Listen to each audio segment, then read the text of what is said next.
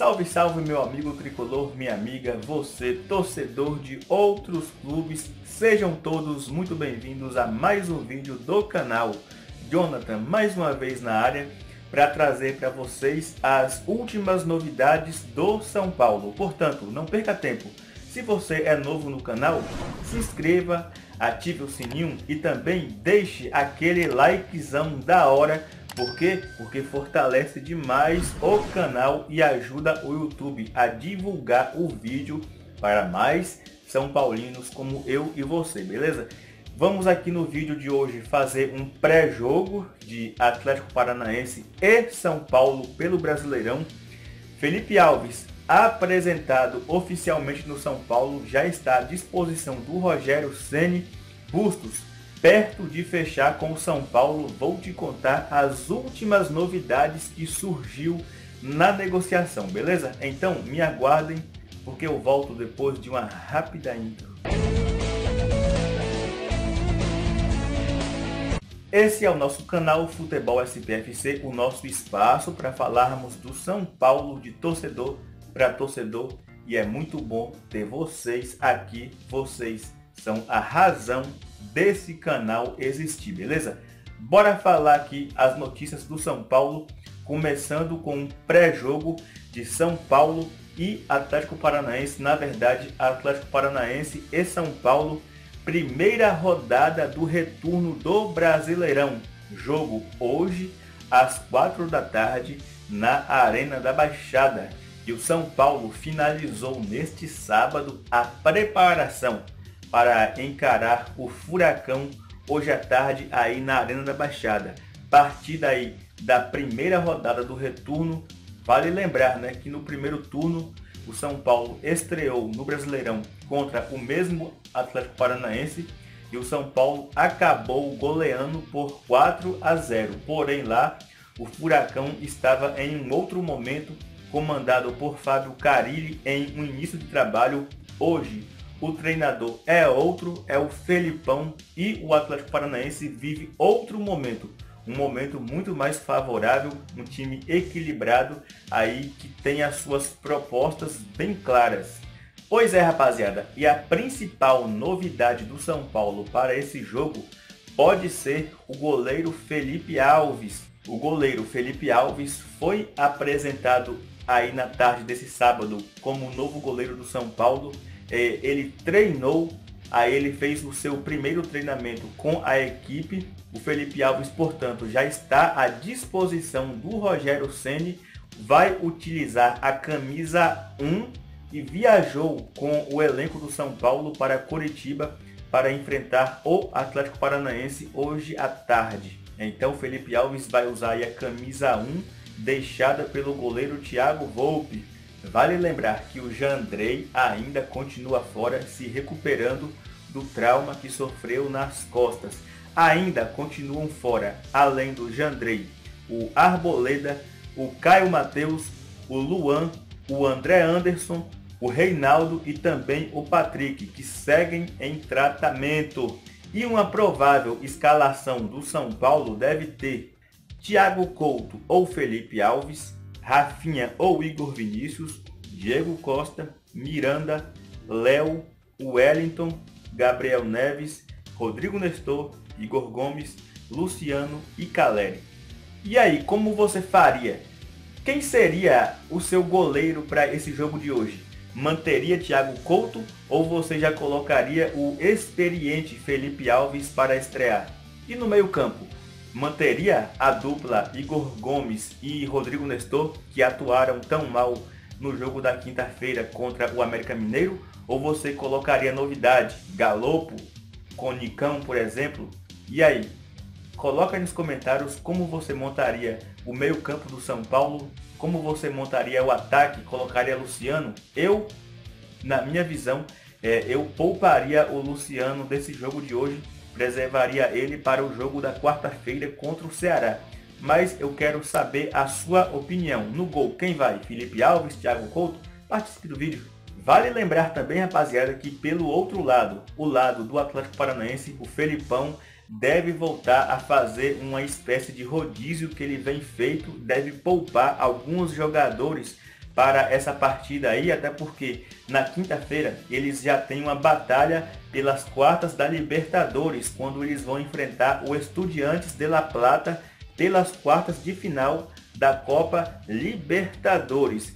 E o Felipão assim deve poupar, por exemplo, o zagueiro Thiago Heleno, o volante Fernandinho e ainda o Terans, o Davi Terans está suspenso pelo terceiro cartão amarelo. Portanto, o Furacão também vem com alguns problemas na escalação. Olho na arbitragem, olho no apito. Aliás, né, olho na arbitragem não, olho no assoprador de apito, porque a arbitragem no Brasil, como eu sempre falo, é bico. Todo árbitro tem uma profissão. Aí o bico dele é soprar apito. Então, o assoprador de apito de hoje é o Marcelo de Lima Henrique, horroroso, árbitro horroroso. Assistente 1, Bruno Rafael Pires. Assistente 2, Nailton Júnior de Souza Oliveira. Quarto árbitro, Murilo Ugolini Klein. No VAR, Rafael Trace, cego. Esse aqui é cego, hein? São Paulo tem que tomar cuidado porque Rafael Trace no VAR é cego. Precisa de oftalmologista com urgência. Transmissão da TV Globo para todo o Brasil. Queria que você deixasse aí nos comentários o seu palpite para Atlético Paranaense e São Paulo. Uma vitória é muito importante para o São Paulo, que vem aí acumulando 11 empates no Brasileirão. O São Paulo é um dos clubes que menos perderam até aqui no Brasileirão, mas em contrapartida também ali da primeira parte da tabela é o que menos venceu, apenas 5 vitórias 11 empates, 3 derrotas. Então, uma vitória hoje e fora de casa seria muito importante para a pontuação e também para dar aquela moral na equipe, beleza? Mas eu queria saber a sua opinião, o seu palpite, o seu placar, beleza? Rapaziada, e vamos seguindo aqui com mais notícias do São Paulo para vocês. E agora vamos falar do agitado mercado da bola do São Paulo que não para.